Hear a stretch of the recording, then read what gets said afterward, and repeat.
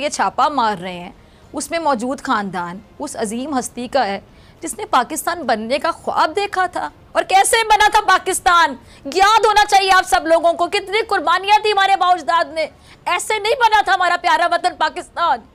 आज़ाद वतन, यानी हमारा पाकिस्तान हासिल किया जाए। जहाँ हर एक को आज़ादी हो, खुद मुख्तारी से जीने का हक हासिल हो। लेकिन आज नून लीग ने अलामा इकबाल की बहू और पोते की खुद मुख्तारी पर हमला करके एक वाजे पैगाम दिया है कि तो दोस्तों, आपने ये छोटा सा क्लिप देखा, फिजा खान रो रही है, आप देख सकते हो। एक्चुअली में पाकिस्तान में सिचुएशन इतनी खराब कर दी है, इमरान खान ने, कि उसको लेकर आप सोशल मीडिया पर जाएँगे ट्विटर पर जाएँगे, पाकिस्तान का ट्विटर सेक्शन चेक करेंगे तो आपको सारी चीज़ें पता चल जाएँगी। पहले ये पूरा वीडियो देखते हैं, फिर वीडियो के लास्ट में करते हैं इस टॉपिक पर डिटेल में बात। अगर आपको ये वीडियो पसंद आता है तो प्लीज़ चैनल को सब्सक्राइब करिएगा, वीडियो को लाइक करिएगा, जय हिंद। आमरीत है। अच्छा वैसे नून लीग आमरीत का मुकाबला करने के लिए अपने जो बहादुरी के किस्से हैं, वो सुनाते थकती नहीं है, लेकिन अब खुद जमहूरियत पर शबखून मारने पर तुली हुई है और ये खुलेआम सिविल डिक्टेटरशिप है। हुकूमत खदशात को बुनियाद बनाकर कतई तौर पर इमरान खान उनकी जमात को एहतजाज से नहीं रोक सकती। लेकिन हुकूमत तहरीक इंसाफ के रहनुमाओं के घर छापे मारकर उनकी पकड़ धक्कड़ करके लॉन्ग मार्च को नाकाम बनाने की नाकाम कोशिश कर रही है। यानी अपनी असलियत दिखा रही है, ओछे हथकंडे इस्तेमाल कर रही है। और सिर्फ़ यही नहीं, नून लीग की हुकूमत की आँखों पर इकदार का ऐसा नशा चढ़ा हुआ है कि इसने इनको ये तक बुला दिया कि जिस घर में वो गैर कानूनी तौर पर पुलिस गर्दी करवा रहे हैं, उस घर के अफराद कोई आम लोग नहीं है, बल्कि शायर मशरक अलामा इकबाल के घर वाले हैं। पुलिस ने लामा इकबाल की बहू जस्टिस रिटायर्ड नासिरा जावेद इकबाल और उनके पोते सेनेटर वलीद इकबाल के घर पर छापा मारकर शायर मशरक को हिरासा करने की कोशिश की है। अच्छा ये जस्टिस रिटायर्ड नासिरा जावेद क्या कह रही हैं? ज़रा उन्हीं की ज़बानी सुन लेते हैं। क्लिप चलाइएगा टीम। सुना आपने जस्टिस रिटायर्ड नासिरा जावेद को और जो पुलिस सेनेटर वलीद इकबाल को लेने आई थी और नासिरा जावेद इकबाल साहिबा कह रही हैं कि कह रही हैं कि रात दो बजे आठ पुलिस एहलकारों ने छापा मारा, उनके घर का दरवाज़ा तोड़ा, उनके गार्ड को हिरासा किया, बड़ी देर तक पुलिस ने गार्ड को अपनी हिरासत में ले रखा। अब यहाँ मोहतरमा नासिरा जावेद साहिबा ने ऐसी बात की जिससे आप यकीन जाने, शायद मैं प्रोग्राम में आप दीदा हो जाऊँगी और ये मेरे दिल के तासुरात हैं जो आप देख सकते हैं कि ये उस ख़ानदान के साथ हो रहा है, ये शायर मशरक़ अलामा इकबाल की बहू है और अलामा इकबाल जिन्होंने पाकिस्तान का ख्वाब देखा था, पाकिस्तान के लिए इतनी जद्दोजहद की थी, उनकी शायरी से नौजवानों में एक वलवला पैदा हुआ, हिम्मत पैदा हुई। उन्होंने कभी नहीं सोचा होगा कि मेरे घर की बहू बेटियों के साथ इसी पाकिस्तान में कभी ऐसा सलूक भी किया जाएगा। यकीन जानिए, मेरा दिल दुख रहा है, बतौर पाकिस्तानी। कह रही हैं नासरा साहिबा कि हम खुद कानून के मुहाफ़ हैं और ऐसे में हम खुद कानून को कैसे तोड़ सकते हैं? लेकिन आज हुकूमत ने अपने आप को बचाने के लिए कानून के रखवालों के घर ही धावा बोल दिया। हुकूमत ने पीटीआई का हकीकी आज़ादी मार्च रोकने के लिए अलामा इकबाल की बहू, बेटी हुई ना बहू, पोते की रिहाइश गाँव पर भी छापे मारे। ये शायर मशरक लामा इकबाल, जिन्होंने पाकिस्तान का ख्वाब देखा, इतनी जद्दोजहद की अपनी शायरी के ज़रिए कितना काम किया और ये उनके घर वालों के साथ हो रहा है। इनको हरासा करने की कोशिश की जा रही है। अब ये हुकूमत कितना गिरेगी? गिरने की भी कोई हद होनी चाहिए ना वैसे? नून लीग इकदार के हवस में ये तक भूल गई कि जिस घर पर वो पुलिस के ज़रिए छापा मार रहे हैं, उसमें मौजूद ख़ानदान, उस अजीम हस्ती का है, जिसने पाकिस्तान बनने का ख्वाब देखा था। और कैसे बना था पाकिस्तान? याद होना चाहिए आप सब लोगों को, कितनी कुर्बानियाँ थी हमारे बाउजदाद ने। ऐसे नहीं बना था हमारा प्यारा वतन पाकिस्तान।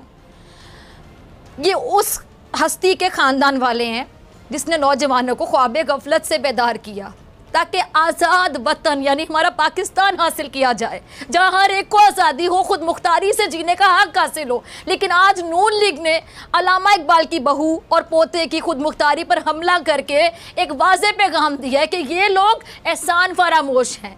ये लोग सिर्फ़ इकतदार के भूखे हैं। इनके आगे इकदार जो है ना, वो कुछ नहीं है, सिर्फ़ इकतदार से इन लोगों को मतलब है। इन्होंने आज़ादी मार्च को नाकाम बनाने के चक्कर में ऐसे जुर्म का irतकब किया, जिसकी माफ़ी नहीं हो सकती। और इन लोगों ने अपना पाँव कुल्हाड़े पे खुद मारा है। अब ज़रा अंदाज़ा कीजिए, अगर आज वजीम हस्ती, जिनका नाम अलामा इकबाल है, जिनकी शायरी आप आज भी पढ़ें तो आपको पता चले, रोंगटे खड़े हो जाते हैं। ऐसे ऐसे शेर उन्होंने लिख दिए। उस अलामा इकबाल के घर वालों के साथ ये और है सोचे उनके साथ आज अलामा इकबाल अगर ज़िंदा होते तो उन पर क्या गुजरती?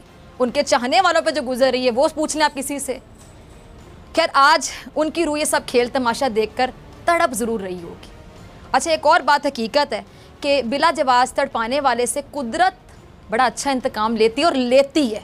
कुदरत खुद इंतकाम लेते जब कुदरत इंतकाम लेने पर आ जाए तो कोई नहीं बच सकता, बच ही नहीं सकता।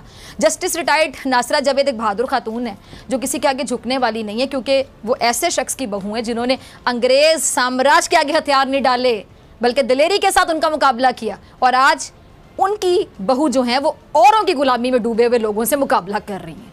अच्छा एक मुकाबला डॉक्टर यासमीन राशिद साहिबा क्या खातून है? मैं कहाँ से उनकी तारीफ़ शुरू करूँ? कहाँ ख़त्म करूँ?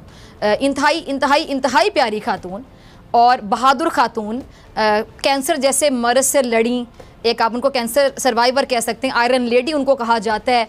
आपको उनके साथ जो हुआ, ये मनाजिर भी आप देख सकते हैं फुटेज भी चल रही है। जब हमाद अजहर के घर पर पुलिस ने छापा मारा था, चादर, चार दीवारी का तकदस पामाल किया था तो उस वक्त ये आयरन लेडी जिनकी मैं बजाते खुद बहुत इज़्ज़त करती हूँ, और मैंने बड़े इनके मुखालिफिन से इनकी तारीफ़ सुनी, और तारीफ़ अगर मुखालिफ करते तो क्या ही बात है। ये आयरन लेडी देखें किस तरह वहाँ बैठी हुई हैं। ये मैदान में उतरी। इन्होंने पुलिस गर्दी का बहादुरी से मुकाबला करते हुए हमाद अजहर के घर के बाहर धरना दिया। दिल पर हाथ रखिए कि कोई भी इस उम्र में इतनी एक रिस्पेक्टेबल खातून, जिस तरह वो बेचारी बैठी हुई हैं, कोई भी खातून हो, किसी भी पार्टी से ताल्लुक़ हो, पाकिस्तान की एक खातून है, आप मुझे बताएँ कि कोरोना के लिए कितनी इन्होंने जंग लड़ी, कैसा महसूस होता है? कि कोई भी पाकिस्तान की खातून इस उम्र में इस तरह बैठी हो पुलिस गर्दी का मुकाबला करने के लिए। यकीनी तौर पे एक लफ्ज़, तकलीफ़ ही होती है, अजियत ही होती है, खुश नहीं कोई हो सकता। और अगर कोई खुश हो तो क्या ही कहने उन लोगों के? उनकी जहनीत के बारे में मैं क्या आप ये देखें ज़रा हमाद सर के घर के बारे एहतजाज के तौर पर जो बैठी हुई हैं, ये वो खातून है जिन्होंने कैंसर जैसे मूजी मरज़ का मुकाबला किया, बहादुरी के साथ किया, यानी मौत से एक तवील जंग लड़ी और मौत को शिकस्त दी। और वैसे में हुकूमत जबरी तौर पर इस आयरन लेडी को कैसे खौफजदा कर सकती? नहीं कर सकती खौफजदा नहीं कर सकती। यासमिन राशिद को जुल्म के आगे दीवार बनकर खड़े होने पर जितना भी खराज तहसीन पेश किया जाए, वो कम है। मैं इनको खराज तहसीन पेश करती हूँ आज। अब ज़ाहिर हुकूमत अपने आप को बचाने के लिए तहरीक इंसाफ के रहनुमाओं के घर पर छापा मार रही है। उन्हें तंग करके तंग करके इंसानी हकूक की खिलाफ वर्जी कर रही है। और यही वजह है कि हुकूमत की हिदायत पर पुलिस चोरों की तरह तहरीक इंसाफ के रहनुमा मुसरत चीमा और जमशेद चीमा के घर भी दाखिल हो गई है। टीम चलाइएगा ज़रा। तरह चीमा, जमशेद चीमा के घर वालों को पुलिस कैसे हिरासा कर रही है? घर में छोटे बच्चे सो रहे हैं और पुलिस और पुलिस उनको डराने और धमकाने से बाज नहीं आ रही है। पुलिस ने तहरीक इंसाफ के इन दोनों रहनुमाओं को गिरफ़्तार करके इमरान खान की तहरीक को कमज़ोर करने की एक नाकाम कोशिश की है। और सानिया मॉडल टाउन के किरदार राना सनौला ने चोरी और ऊपर से सीना जोरी वाला काम करते हुए अपनी आमिराना सोच को ये कहकर ज़बरदस्ती मुसलत करने की कोशिश की कि हुकूमत हर सूरत तहरीक इंसाफ के मार्च का रास्ता रोकेगी। राना सनौला खुद ही आईनी माहिर बनकर ये फतवा लगा रहे हैं कि इमरान खान गैर आईनी मार्च करने जा रहे हैं। ये राणा साहब कौन सी साइज़ लड़ा रहे हैं? समझ से बालातर है। राणा साहब वज़ीर दाखिला बनकर शायद खुद को कानून का ठेकेदार समझने लग गए हैं। उन्होंने खुद कानून को पामाल किया। उनकी नाक के नीचे सानिया मॉडल टाउन हुआ। पहले उसका तो हिसाब दे दे सब। इन्होंने खुद आयन और कानून को पामाल किया। तो फिर ये किस मुँह से इतनी बड़ी बड़ी बातें कर रहे हैं? और एक बात और।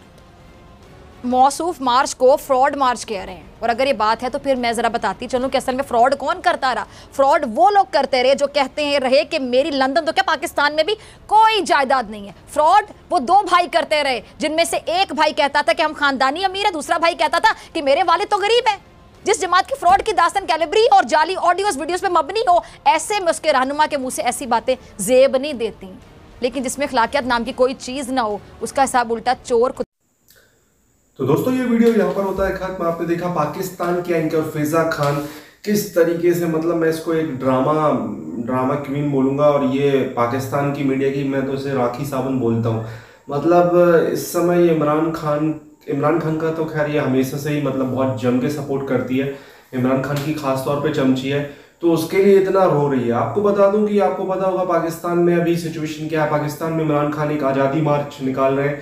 और वो डिमांड कर रहे हैं कि जितना जल्दी हो सके इलेक्शन किए जाए। और जो करंट गवर्नमेंट है, उसको उन्होंने बोल दिया है कि अमेरिका अमेरिका के सपोर्ट से आई है, अमेरिका ने इसको फंडिंग की है। मतलब और उसको लेकर पाकिस्तान की जनता कितनी बेवकूफ़ है कि वो मान भी गई है। अगर किसी कंट्री में ऐसा बोला जाता है कि जो अपोजिशन है, उसे अमेरिका ने खरीद लिया है और अमेरिका के सपोर्ट से ये मतलब गवर्नमेंट आई है तो अपने आप में ये मतलब क्या बोल रहे हैं? और उस पर लोग अगर मतलब बिलीव कर रहे हैं तो ये डेफिनेटली आप समझ सकते हो कि वहाँ की जनता, वहाँ के लोग कितने बड़े पागल है, वहाँ की डेमोक्रेसी की क्या वैल्यू है। तो उसी को लेकर ये पूरा इन्होंने नैरेटिव साइड किया। इमरान खान ने अपने जो जितनी भी स्पीचेस हैं, जितने भी भाषण है, उसमें सब में यही सब बोलते आ रहे हैं कि अमेरिका इम्पोर्टेड गवर्नमेंट नामंजूर इस तरीके की चीज़ें ये बोल रहे हैं इमरान खान की गवर्नमेंट और इमरान खान के सपोर्टर्स जो हैं अभी फ़िलहाल, और इनके जो गवर्नमेंट में जितने मंत्री थे, ये खुलेआम पाकिस्तान आर्मी पर अटैक कर रहे हैं मतलब उसके खिलाफ नारे लगा रहे हैं, उसके खिलाफ बातें कर रहे हैं। तो हमें तो इससे कोई फ़र्क नहीं पड़ता। है बाकी एक चीज़ मैं बता दूँ कि इमरान खान पाकिस्तान के लिए एक बहुत डेंजरस एक्सपेरिमेंट साबित हुए हैं, और अगर इन फ्यूचर ये आते हैं तो फिर से ये बहुत बड़े डेंजरस एक्सपेरिमेंट साबित होंगे। तो आपको क्या लगता है दोस्तों प्लीज़ कॉमेंट में अपनी राय दीजिए